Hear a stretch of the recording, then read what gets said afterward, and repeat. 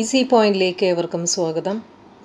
Plus one സോഷ്യോളജിയിൽ പ്രധാനപ്പെട്ട കുറച്ച് essays ആണ് ഇന്നിവിടെ ഡിസ്കസ് ചെയ്യുന്നത്. അതിൽ ഒരു ചോദ്യം outline the position of Herbert Risley and G S Ghurye on the relationship between race and caste in India എട്ട് മാർക്കിനെ ചോദിക്കാൻ സാധ്യതയുള്ളതാണ്. ചില സമയങ്ങളിൽ അഞ്ച് മാർക്കിന്റേതായിട്ട് ചോദിക്കാറുണ്ട്. ഇപ്പോൾ ഗുരേ എന്ന് പറയുമ്പോൾ കേംബ്രിഡ്ജ് സർവകലാശാലയിലെ ഡോക്ടറേറ്റിന് വേണ്ടി സമർപ്പിച്ച ഗവേഷക പ്രബന്ധം ഇന്ത്യയിലെ ജാതിയും വംശവും എന്ന ശബ്ദ ശീർഷകത്തിലാണ് ഹെഡിങ്ങിലാണ് പ്രസിദ്ധീകരിച്ചത് ആയിരത്തി തൊള്ളായിരത്തി മുപ്പത്തി രണ്ടിൽ ആ കാലത്ത് അദ്ദേഹത്തിന്റെ പ്രസിദ്ധി ആർജിച്ച ഏറ്റവും പ്രധാനപ്പെട്ട ഗ്രന്ഥമായിരുന്നു ഇത്.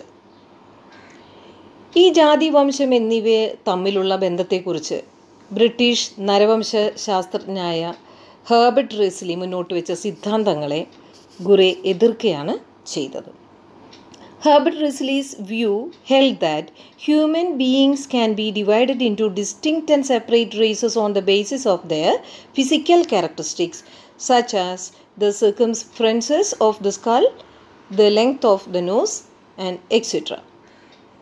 തലയോട്ടിയുടെ ചുറ്റളവ് മൂക്കിന്റെ നീളം വ്യാപ്തി എന്നിവയുടെ അടിസ്ഥാനത്തിൽ മനുഷ്യരെ വിവിധ വംശങ്ങളായി വിഭജിക്കാമെന്ന് റിസ്ലി വാദിച്ചു.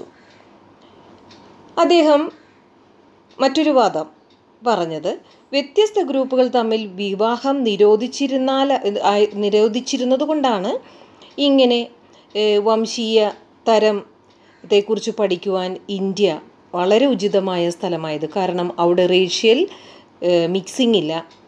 ഇപ്പോൾ വർഷങ്ങളോളം നൂറ്റാണ്ടുകളോളം ഒരേ വംശം അത് പിന്തുടരുന്നു. അത് എൻഡോഗമി എന്നുള്ള സ്വഗണ വിവാഹം ഉള്ളതുകൊണ്ടാണ് അത് സാധ്യമായത്.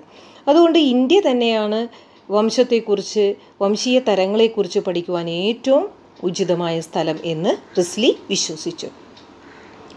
Risley's main argument was that caste must have originated in race because different caste groups seem to belong to distinct racial types ജാതി വംശത്തിൽ നിന്നാണ് ഉടലെടുത്തത് എന്നും ജാതികൾ വ്യത്യസ്ത വംശത്തിൽപ്പെട്ടവരാണ് എന്ന് റിസ്ലി വാദിച്ചു. അതിനദ്ദേഹം ഒരു എക്സാമ്പിളായിട്ട് പറഞ്ഞത്. ഉയർന്ന ജാതികൾക്ക് ഇൻഡോ ആര്യൻ വംശത്തിന്റെ സവിശേഷതകളാണ്. The higher caste approximated Indo Aryan racial traits എന്നാൽ മറ്റു താഴ്ന്ന ജാതിക്കാർക്ക് മംഗ്ലോയിഡ്സ് നിഗ്രോയിഡ്സ് എന്നിങ്ങനെയുള്ള വംശത്തിന്റെ ലക്ഷണങ്ങളുമാണ്. While the lower caste seem to belong to non Aryan racial traits while the lower caste seem to belong to non Aryan originals Mongoloids or other racial groups ഇനി താഴ്ന്ന ജാതിയിൽപ്പെട്ടവരാണ് ഇന്ത്യയിലെ ആദിവാസികൾ. അതുകൊണ്ട് തന്നെ ആര്യന്മാർ ഉയർന്ന ജാതികൾ മറ്റു ദേശത്തു നിന്ന് വന്നവരാണ് ഇന്ത്യയിൽ താമസമാക്കിയത്. അങ്ങനെയാണ് അവർ ഇന്ത്യയിലെ താഴ്ന്ന ജാതിക്കാരെ കീഴടക്കി ഇവിടെ വന്ന് താമസിച്ചവരാണ് Aryans Ghurye had not disagree with the basic argument put forward by Risley. അപ്പോൾ ഗുറേ റിസ്ലിയുടെ സിദ്ധാന്തങ്ങളെ ഭാഗികമായി എതിർക്കുകയും കുറച്ച് സപ്പോർട്ട് ചെയ്യുകയും ചെയ്തു. He pointed out the problem with using averages alone without considering the variation in the distribution of a particular measurement were not very large or systematic അദ്ദേഹം പറഞ്ഞത് ഭൂമിയിലെ ഭൂരിഭാഗം ജനതയെ കണക്കിലെടുക്കാതെ ഉത്തരേന്ത്യയിലെ ജനവിഭാഗത്തെ മാത്രം പഠനം നടത്തിയ ഒരു നിർണയത്തിലെത്താൻ സാധിക്കുകയില്ല കാരണം ഉത്തരേന്ത്യയിൽ മാത്രമാണ് സ്വഗണ വിവാഹത്തിലൂടെ വംശീയ ശുദ്ധി പാലിച്ചിരുന്നത്. കാരണം സൗത്ത് ഇന്ത്യയിൽ കൂടുതലും ആളുകൾ അങ്ങോട്ടും ഇങ്ങോട്ടും മിങ്കിൾ ചെയ്തിട്ടാണ് ജീവിച്ചിരുന്നത്. അവിടെയുള്ള ബ്രാഹ്മിൻസ് അവരുടെ വംശീയ ശുദ്ധി പാലിച്ചിരുന്നു എന്ന് പറയാം എങ്കിൽ പോലും ഇവിടെയുള്ള മറ്റു ജാതി വിഭാഗങ്ങൾ പരസ്പരം ഇന്റർ മാരേജ് ചെയ്തിരുന്നു.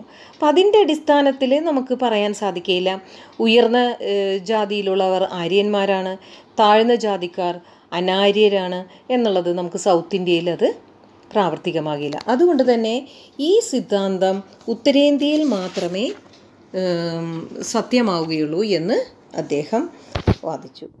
ഇപ്പോൾ ജാതിയുടെ വംശീയ സിദ്ധാന്തത്തെ ആരും അംഗീകരിക്കുന്നില്ല. എന്നാൽ ഇരുപതാം നൂറ്റാണ്ടിന്റെ പൂർവാർദ്ധത്തിൽ ആദ്യ കാലഘട്ടങ്ങളിൽ അത് സത്യമാണ് എന്ന് കരുതപ്പെട്ടിരുന്നു. ഇന്നും ആര്യന്മാരെ കുറിച്ച് അവരുടെ ഇന്ത്യയിലേക്കുള്ള വരവിനെ കുറിച്ചൊക്കെ വ്യത്യസ്ത അഭിപ്രായങ്ങളുണ്ട്. ഗുരു എഴുതിക്കൊണ്ടിരിക്കുന്ന ആ കാലഘട്ടത്തിൽ ഇതെല്ലാം സാമൂഹ്യശാസ്ത്രത്തിന്റെ പ്രധാന പ്രതിപാദ്യ വിഷയമായിരുന്നു. അതുകൊണ്ട് തന്നെയാണ് ജി എസ് ഗുരെ യുടെ രചനകൾ വളരെയധികം ശ്രദ്ധ തിരിച്ചത് ശ്രദ്ധ പിടിച്ചു പറ്റിയത്. അപ്പോൾ ഇനി ഇതുപോലെ വലിയ എട്ട് മാർക്കിന്റെ ചോദ്യവുമായി ഉടനെ എത്താം. Thank you.